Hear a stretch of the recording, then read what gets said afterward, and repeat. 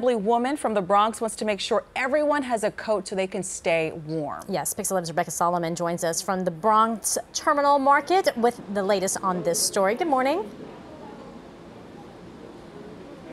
Hey, good morning, Betty and Vanessa. You know what? It certainly is the coldest day of the year, and I'll tell you what, we felt it all morning long outside. We're fortunate enough to be inside today, but the bottom line is I'm still wearing my long coat head to toe, and it is in support of an event that is happening today Coats Against COVID, a very unique event today to help out Bronx families in need. They too are going to be walking away with a very warm coat, something certainly everyone needs on days like today and throughout the winter. And thanks to Assemblywoman Joyner, this event is happening. Why is it so important to have coats for COVID?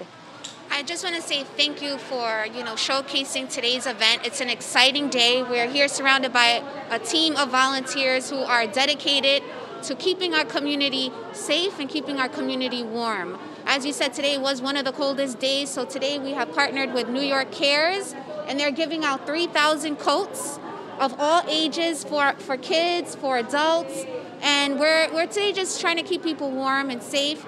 Um, we're also giving out hand sanitizers and masks. And it's an important event because, listen, my community was hit very hard with COVID.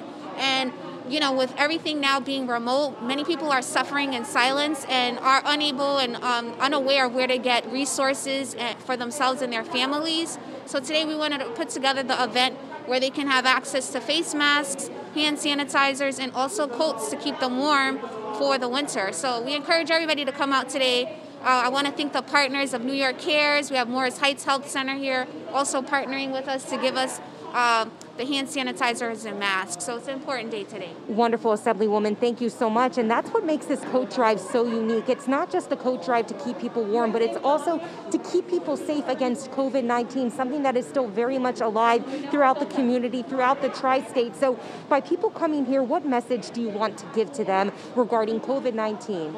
I would like to just let people know stay connected. You know, the community is all coming together to help one another.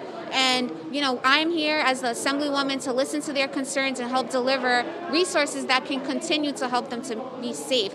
So I would, my, my main message is definitely come, get the resources and stay connected and share it with your family and friends.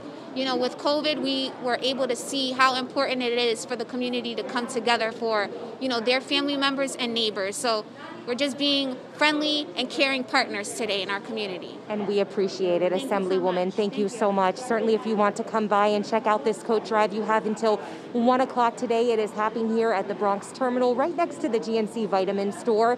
And there are um, options to park. You can walk here, whatever's most convenient for you. We'll put that, web- that information on our website for you if you need some more. Pix11.com. We're live in the Bronx. Rebecca Solomon, Pix 11 News. So important, especially on a cold day like this. Rebecca, thank you.